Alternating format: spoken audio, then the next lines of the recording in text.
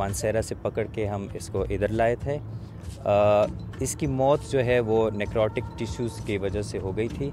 और इसके लिवर और स्प्लीन जो है वो डैमेज हो गया था हमारे जितने भी जानवर बीमार हो जाते हैं तो we are having an IC unit उसमें उनको शिफ्ट किया जाता है एंड उनकी ट्रीटमेंट के बाद उनको वाप, वापस जो है अपने केजेस में शिफ्ट किया जाता है